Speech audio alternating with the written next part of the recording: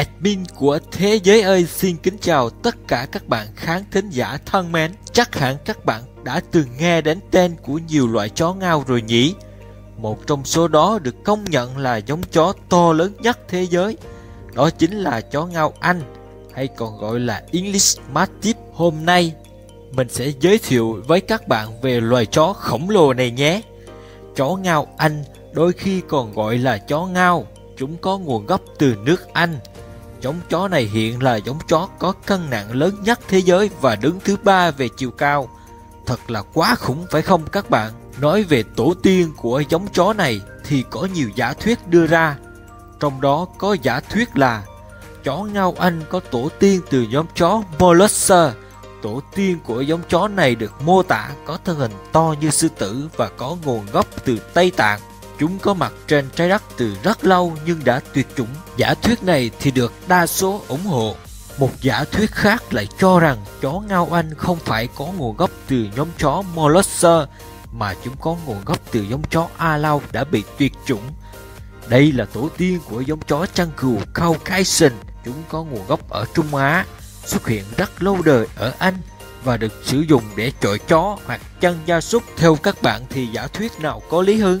Mà thôi, mình tìm hiểu tiếp xem kích thước của loài chó này nhé. Một con chó ngao Anh trưởng thành có chiều cao tối thiểu là 76cm với con đực và 70cm với con cái. Con đực có cân nặng dao động từ 68 đến 113 kg, còn con cái có cân nặng dao động từ 54 đến 91 kg.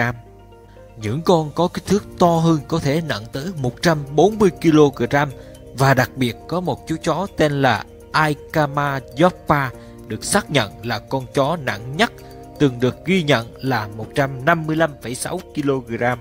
Mặc dù có thông tin về những giống chó khác còn to hơn Yoppa nhưng hiện chưa có con số cụ thể và sau năm 2000, sách kỷ lục Guinness ngưng xác nhận kỷ lục vật nuôi lớn nhất hoặc nặng nhất. Về đặc điểm bên ngoài, chó ngao Anh có chiếc đầu rất to, vuông vức và vết hằn rõ giữa hai mắt. Thân hình đồ sộ nhưng ít cơ bắp. Đôi mắt thường có màu nâu đen, nằm cách xa nhau về hai phía và xung quanh mắt là những quần đen, mũi đen, tai nhỏ, răng nhọn sắc bén. Màu lông thường là nâu vàng kim, nâu vàng nhạt, màu mơ, màu bạc hoặc có những sọc vẹn. Chó ngao Anh có tính cách khá trầm tĩnh. Chúng mang bản năng của loài chó canh gác. Chúng ít khi sủa mà chỉ thầm lặng bảo vệ lãnh thổ và gia đình. Khi có kẻ lạ xâm nhập vào lãnh thổ, chúng sẽ dồn ép vào một góc hoặc nằm đè lên chứ ít khi tấn công toàn diện. Chó ngao Anh thông minh, ôn hòa và bình tĩnh. Chúng được cho là rất kiên nhẫn và an toàn cho trẻ em. Loài chó này thích hợp sống trong không gian rộng rãi, thoải mái hoặc phải được vận động đầy đủ. Chó ngao Anh có tuổi thọ từ 7 đến 12 năm. Chúng thường mắc một số bệnh như dị sản xương hông, phù nề, mạch vành, xoán dạ dày, lộ mí dưới, tăng dịch âm hộ, dị sản xương khuỷu tay, teo võng mạc tiến triển và thỉnh thoảng còn bị bệnh về tim mạch. Bật mí cho các bạn biết là chó ngao Anh có thể tạo ra một lực cắn lên tới 552 psi đấy nha. Cũng khá ấn tượng đấy chứ nhỉ. Các bạn thấy loài chó ngao Anh này như thế nào? Có muốn chúng thử sức với anh hùng nào khác không? Thì để lại ý kiến ở phần bình luận bên dưới giúp mình nha. Cảm ơn các bạn đã quan tâm theo dõi. Đừng quên like, share và đăng ký kênh ủng hộ mình nhé.